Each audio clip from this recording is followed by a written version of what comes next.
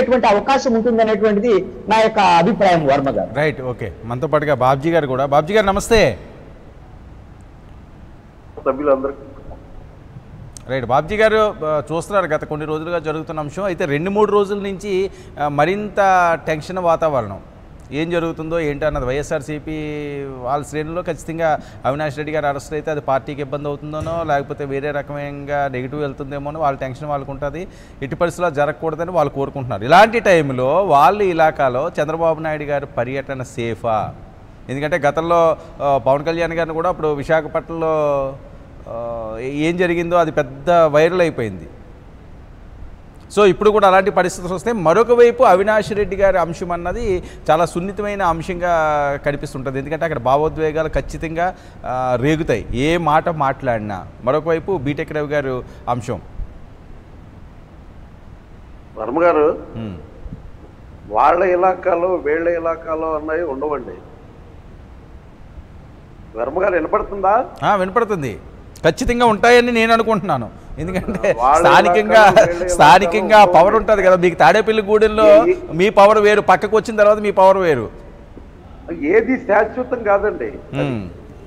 అవి ఏవి శాశ్వతాలుగా ఉండవు. కొన్ని సందర్భాల్లో కొన్ని సందర్భాలు ఆ రకంగా ఉంటాయి.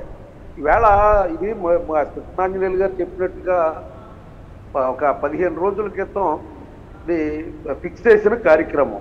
అది కూడా క్లోజ్డ్ సర్క్యూట్లో ఉంటుంది ఉండటం కూడా. అదేమి ర్యాలీతో ర్యాలీ కానీ ఈ రకమైన ఎక్కడ పబ్లిక్ మీటింగ్ కానీ లేదు అందులో. మరి క్లోజ్డ్ సర్క్యూట్లో ఉన్నప్పుడు అది దానికి ఇబ్బందులు కలక్కోకుండా చేయవలసింది ప్రభుత్వం. మరి జగన్మోహన్ రెడ్డి గారు పాదయాత్ర చేయలేదా అన్ని చోట్లనే? అన్ని చోట్ల ఎక్కడ రక్షణ కల్పించలేదా అప్పుడు తెలుగుదేశం ప్రభుత్వం? ఖచ్చితంగా వాళ్ళ బాధ్యత అండి ఇది వాళ్ళ రెస్పాన్సిబిలిటీ ఒక ప్రతిపక్ష నాయకుడు మీ- జిల్లాలో పర్యటనకు వచ్చారు. వచ్చినప్పుడు ఆ పర్యటనకే మీరు సహకరించవలసిన అవసరం పోలీస్ డిపార్ట్మెంట్కి ఉంది అలాగే ప్రభుత్వాందే బాధ్యత.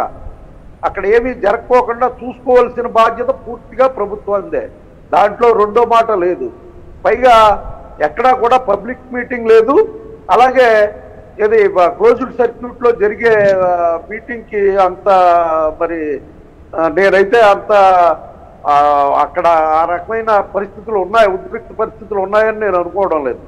ఎందుకంటే వాళ్ళకి ఆల్రెడీగా ఫస్ట్ నుంచి తెలుసు ఎవరు నేరస్తులు ఏంటి ఇవన్నీ కూడా ఎవరిని అరెస్ట్ చేస్తారు సిబిఐ ఏం చేస్తుందన్నది కడప జిల్లా వాసులు అందరికీ కూడా తెలుసున్నదే.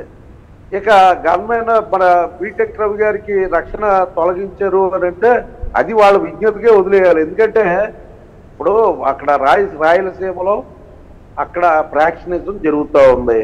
పైగా ఇప్పుడున్న పరిస్థితుల్లో ఉద్రిక్త పరిస్థితులు ఉన్నాయని చెప్పి మీరు అందరూ చెప్తా ఉన్నారు. ఈ పరిస్థితుల్లో ఉంటే ఒక మాజీ ఎమ్మెల్సీకి రక్షణగా ఉండవలసిన పోలీసులు ఆ రక్షణ తొలగించేయడం అంటే ఎంత దుర్మార్గమైన చర్య అండి అది.